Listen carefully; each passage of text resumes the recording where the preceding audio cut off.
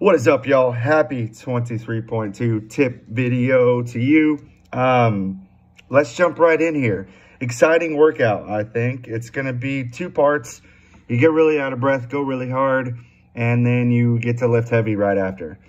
Some cool things that I think um, is that we've had some experience lifting heavy after a conditioning workout this past few months as we've been prepping for the open.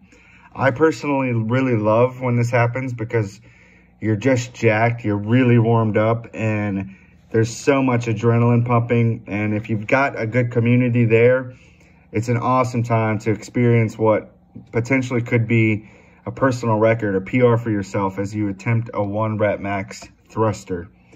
So, this is a common theme in CrossFit in these open workouts is that they test the lift after. Um, and it's like you got to earn that heavy barbell by doing some work before it. So be ready to put your head down and just stay moving. Be ready for something that is going to be a gut check mentally um, where you're going to want to stop moving. The goal of this whole workout in the beginning is just to find some kind of rhythm, some kind of cadence, some kind of pace that just allows you to stay moving without stopping and breaking. You're wasting precious seconds every time you stop doing any kind of movement. And here's an exciting thing. Two of the movements, you're probably not ever going to fail.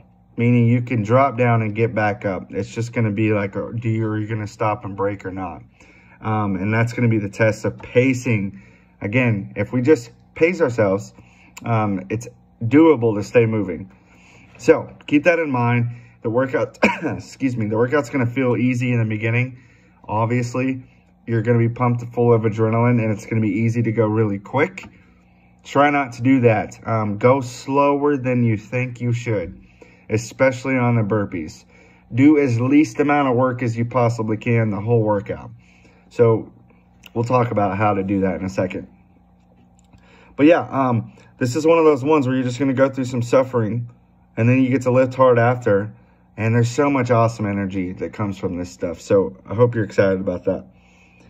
Anyways, let's get into the burpee jumping pull-up. So about the burpee first, remember on this one, they're allowing you to step back and step up. You don't have to two feet back. You don't have to two feet up. So you might as well. The only problem that people have on this is if you step up on the same leg every time, you're going to blow up one side of your back and same thing on the run. If you pivot on the same foot every time, which is allowed, you're going to blow up one side of your body. And there's a good chance with whatever leg you step forward with, if you were to step forward with the same leg every time, that that's also the leg that you're going to pivot and turn off of. Try to avoid that if, if you can. Think about it before. Prep how you are going to turn. Don't just jump into the workout unless you don't care about this. Um, but don't just jump into the workout not having prepped how you're going to make turns, how you're going to run, and how you're going to step your burpees, especially if you've been doing the two foot back, two foot forward. Um, so yeah, on the burpee, try not to rest at the ground. Uh, it's really hard to breathe when you're laying face down. Uh, your belly can't expand, your chest can't expand. So don't breathe there. Breathe in some stood up position. Hit the ground and get back up quick. Um, Try to pop your hips up in the air the best you can also. Avoid doing the up dog, snake up position. Um, that fatigues your upper body a lot more. And you're doing a lot of upper body pushing with the burpee and then some pulling with the, the pull up. And then you're going to need those muscle groups in that heavy thruster. So pop your hip up the best you can. Um, and what we can show you what this looks like if you have no clue what I'm talking about. In terms of the jump, play to your strengths here. If that pull-up is really hard for you, remember you can kip the pull-up. You can jump, catch the pull-up bar with a bent arm and just finish. So if you have a really great jump and you can spring yourself up there, catch, finish real quick and pull, um, that may be a great way for you to RX this workout if you don't have a kipping pull-up, but maybe you, you got a few strict ones. You might as well give it a go for as long as possible, RX, and then if you need to scale, call your score there and start doing just the burpees. But um, remember, you can switch grip. You don't have to go overhand. you can switch the grip, um, which may give you a little more strength and it may save your grip at some point in the workout if you are doing the strict style jump, catch, and pull. You don't probably want to do that when you're kipping, but um, just know that you can. You may try that out uh, because it is a kind of a stronger pulling position for most people.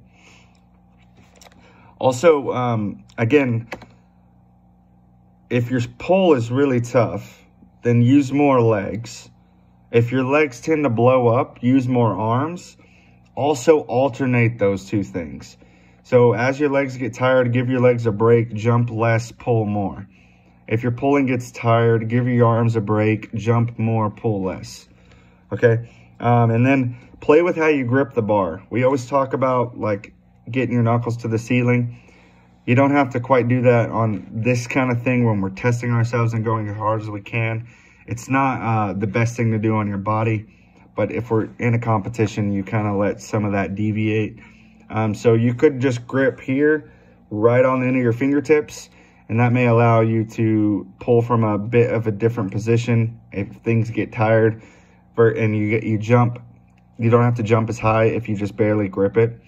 Um, and then in terms of wearing grips, if you normally do grips, I would do grips in this workout. Just make sure they don't slip on your pull-up bar. The last thing you want is to have slick hands in this workout. So make sure you have some chalk ready. Um, you slather it all over the ground and LeBron James it in the air. Um, okay, that's the burpee and the pull-up. Uh, I'm going through my notes here. if you know that the pull-ups are going to get really tough and you're going to fail, you might as well, you know, pace really well. No need to go fast in the beginning. You might as well, you know, make every rep like it's a, a really heavy attempt at something because that's what that strict pull-up's going to feel like, um, especially if you don't have kipping pull-ups. So pace yourself as much as you need to so that you can just get one rep at a time. And then let's go into the run. Um, Again, we talked about being really efficient with how you're going to turn, running in straight lines, and avoid doing like the little stutter step towards the end to slow down. Try to uh, step your, your stride out before you do the workout so that you know exactly how many steps you need to take and go right into a turning step and just changing directions so that you don't have to do the stutter step. If you do that, stutter step on the slowdown. You're going to blow up your legs more than than is necessary. And you're going to need them because you're going to be jumping, you're going to be running, and then you're going to go into a heavy barbell squat. So you want to avoid doing that because it's not efficient. It's going to be really tough when you get tired, but you're going to have to do your best to take those stride steps and hold yourself accountable to it the whole workout, especially when you get tired. The run is not going to make or break the workout, so pace yourself. Go slower than you think. Again, no amount of speed coming off of the turn is going to be very important. At some point in the workout, you're going to slow way down anyway, so you might as well start that way. Um, in the beginning, if you're to go too fast, it's going to jack up your heart rate, and you'll never recover after that because the burpees aren't going to allow it. And you're going to end up making the burpees way harder than they should be. Same on the burpees. If you go too fast there, you're going to blow yourself up on the run, and then you're going to be running really slow really quickly. So start off slower, especially since the reps are ascending in the burpee. It's going to be easy to go fast in the beginning. And then those sets of 15, 20, maybe 25s uh, are going to get really challenging. Find some kind of cadence on those burpees when they get up in reps. Um, that's it on, on the runs. On the thruster, remember you can power clean it first and then squat down and then drive it overhead. Uh, I'd recommend you squat clean it if you have the technique down.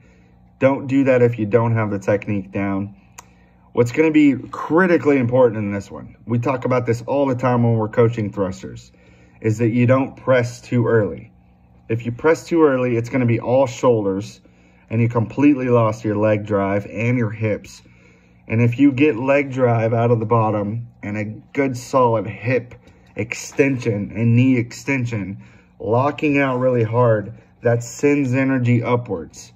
If you're holding the barbell on your shoulders like you should and not pressing early, and you send that powerful extension and straighten your body out, that's gonna shoot the barbell off your shoulder and you're way stronger from that position than you are if you start to push too early. Also wear a belt when things get heavy. That'll allow you to stay in a better upright position. You're really gonna wanna avoid getting folded over in this one because it's really tough to push the bar from that point. Bar path is also gonna be critically important. If you come off your shoulders and you press this way, it's going to be really tough to get that thing back locked out in the right spot. So make sure you get your head out of the way, push and then punch your head through and then lock out as hard as you can. Punch the bar through the ceiling. Um, the warm-up is also going to be super important. Last thing, let me talk, talk about the thruster. If you know you're one rep max, we did go heavy on this uh, within this last month. Go start at 80%. Start there. Don't start near maximal load, but don't start too light either. You don't want to waste any type of energy. Do something that's money in the bank that you for sure know you can get. Prime that before the workout begins. Test it out so you know what it is. Um, no worries on going heavy before the workout starts. It'll allow you to kind of get primed and ready. You're going to need a good solid warm up. You want to get out of breath. You want to breathe hard before this starts you don't want it the first time that to happen during this workout or it's going to be a shock to the system. So warm yourself up really well. The warm up will be on the board. Give yourself time to do it. Give yourself like five minutes to cool down after you do the warm up and then go into the workout. We're going to be able to run four people in one heat. Uh, remember that it's going to be based on pull-up bars. So if you want a specific pull-up bar, you might not be able to get in the exact heat you want if someone else first come, first serve gets that pull-up bar before you do, okay?